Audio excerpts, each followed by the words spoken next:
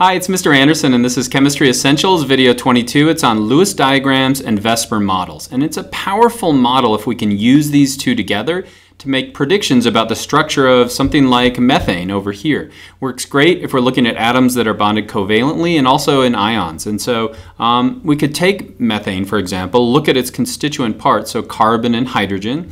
We could figure out their Lewis dot diagrams. If you don't know how to do that, I'll put a little video up here so you can see that. Then you could create a Lewis structure, and finally we can create a VSEPR model. And once we have that, we can learn all of these things about a molecule such as methane. And so it works on molecules. We start with Lewis diagrams, and I'll give you a method for drawing Lewis diagrams. Um, what we can do is compare different diagrams that we come up with by looking at their formal charges. We can look alternatives, and lots of times we'll find multiple alternatives, and then we have to show resonance. Another model is to use a VSEPR model. VSEPR model is simply looking at where the pairs of electrons are and they're going to repel each other. This is simply going to be Coulomb's law. And so based on that repulsion, we can create these three-dimensional models of what those Lewis diagrams look like. And those, so these two together is a pretty powerful model that you can use in chemistry. What we can use is use that to predict geometry, bond angles, bond energy, bond length, and we can even predict uh, polarity based on that as well. Lots of times we're going to have to extend it. It's just a model. It's not actually what the atoms look like, and so we can do extensions on this based on overlap of bonds, and also sometimes it's confusing when we get odd valence electrons. And so um, I'll present another theory. It's called molecular orbital theory. Won't go into detail, but I'll kind of explain where that would be useful. And so first thing we have to do is to know how to draw Lewis structures. There's lots of different methods on how to do this out there. I couldn't find any good mnemonic devices. And so we're going to use VSEPR twice. VSEPR is going to be our model of repulsion, but it's also an easy way to remember how you draw Lewis structures. And so if we're drawing the Lewis structure, the first thing you want to do is add up all of the valence electrons. Next thing you want to do is just sketch out the skeleton of where the atoms might be connected. Next, you're going to add the electrons. In general, you should add it to the most electronegative atoms first and kind of work from the outside to the inside. After you've done that, we can look for pairs of bonds, and then finally we're going to review the formal charges. Now I know this seems confusing, but we'll work through a number of different molecules and I think it'll make sense. So let's say we're starting with this. This is hydrogen, hydrogen cyanide. If we're going to draw the Lewis structure of it, the first thing we want to do is draw and add up the total number of valence electrons. So to figure out valence electrons, we're ignoring the metals. You can see I've removed that D block right here. Um, but what we've got is if you're in this first column, then you're going to have one valence electron, so hydrogen. If you're beryllium, you're going to have two. If you're carbon, you're going to have four. And so we go up to this molecule and we're going to add up all the valence electrons. And so that's 1 plus 4 plus 5 is 10. So we start by V, adding the valence electron. Next thing we do is simply sketch out the skeleton. An easy way to do that is to just sketch it out by drawing bonds between each of the atoms as they are in the molecule itself.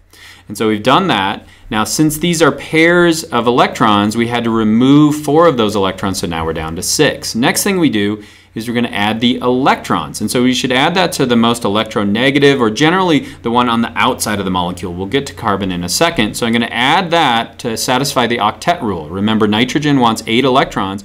So it's going to have two, four, six, and then it's sharing the one, so it's going to have two electrons here. So nitrogen at this point is totally happy. But you should see that carbon's not so happy. And so we, now we go to P. We're going to look for pairs of bonds to try to make carbon a little bit happier.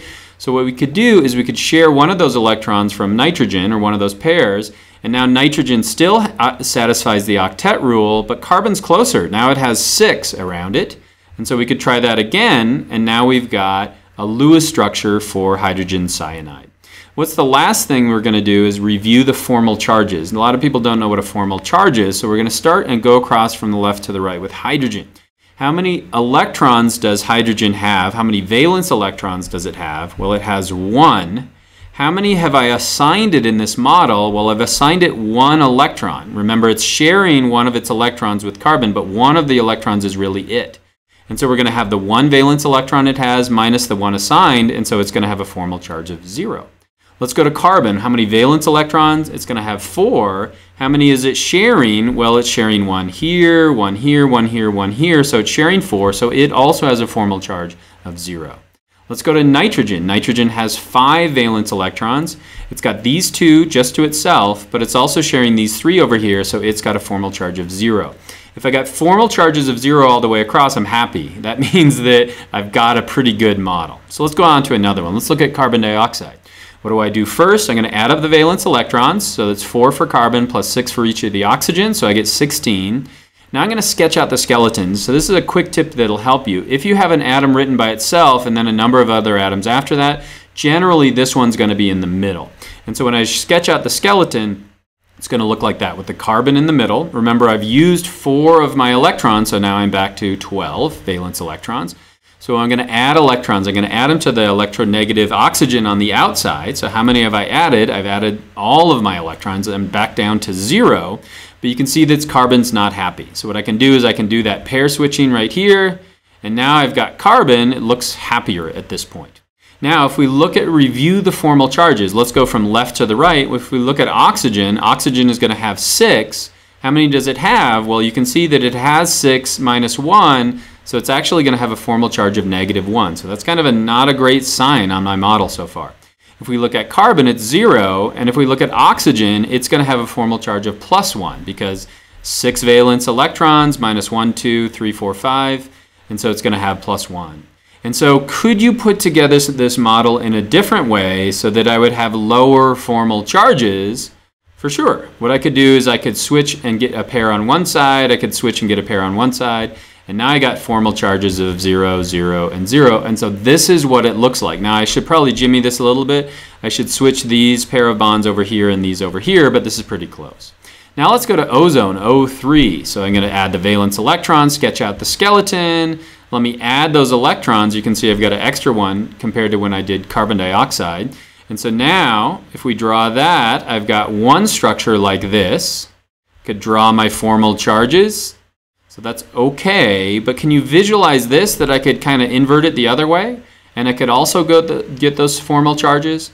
Remember, formal charges, the closer they are to zero, the more stable kind of that structure is. But these ones have the exact same formal charges. And so what am I going to draw? I'm going to draw resonance. I'm going to draw this arrow in the middle, this two-way arrow, and that means that this structure or this structure are properly. So we have to show both of those structures. Now let's get to the VSEPR model. So VSEPR model is the valence shell electron pair repulsion. What does that mean? It's very simple.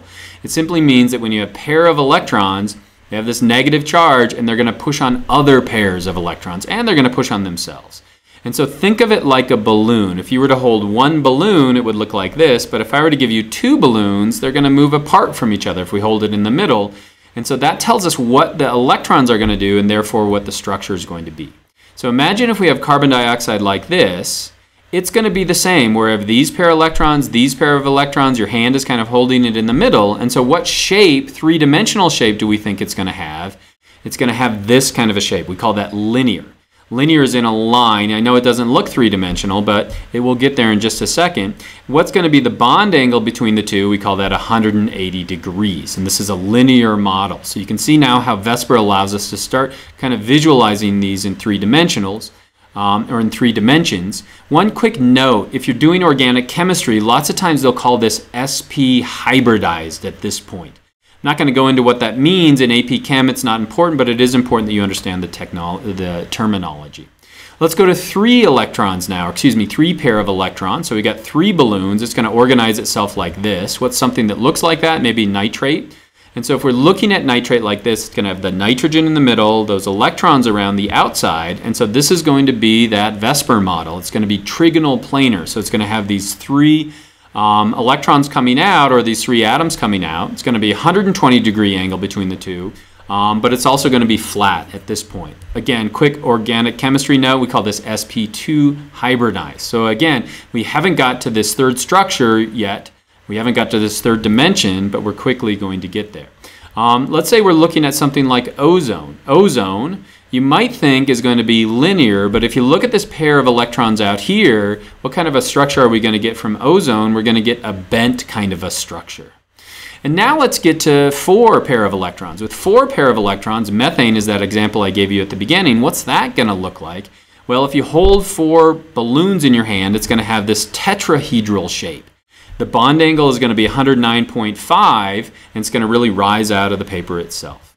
We call this SP3 hybridized, and that's kind of where it ends. Uh, in AP Chem, your knowledge of all these bond angles and geometry, know that we can also have more pairs of electrons. And as we do, we get to what's called, if we, let's say we're looking at uh, PCl4, that's going to be trigonal bipyramidal. And so they're going to branch off like this. What you really have is a trigonal planar here in the middle, and then you're going to have a linear structure right down here through the middle.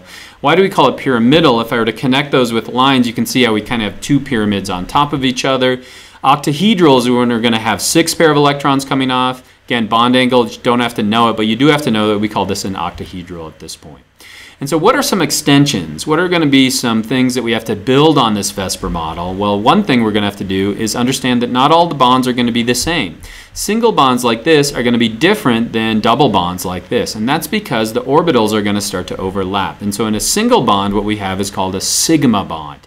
Sigma bond is where they're sharing those electrons between the nuclei. But as we start to add more electrons that are being shared, what we're using is an overlap of orbitals, and so we got, get what are called pi bonds. And so pi bonds, so this would be a sigma bond and then a pi bond, or I could say this is a sigma and this is a pi bond. Those pi bonds, as we add them, are going to be less powerful, but they're also going to kind of lock the molecule in itself so you get formation of isomers. Also, sometimes uh, the math doesn't add up. In other words, we're going to have a odd number of electrons. So how do we add these pairs if we're adding one single electron? So di nitrogen dioxide is actually going to have a Lewis structure like this, but it's going to have one single electron out here. So we call that a free radical. And so there are extensions. And so we can build a better model. It's called the molecular orbital model or orbital theory. It's based on quantum theory and mathematics. It's just a different model and we can answer a lot of these questions, but it's probably a little too intense and a little too sophisticated for AP Chem. And so again, did you learn the following to use Lewis geometry and VSEPR models to predict geometry, hybridization, polarity? If you did, you did great. Try one on your own. Let's say I give you water. Could you draw the Lewis structure? Could you draw the uh, VSEPR model? Watch out for those electrons, and I hope that was helpful.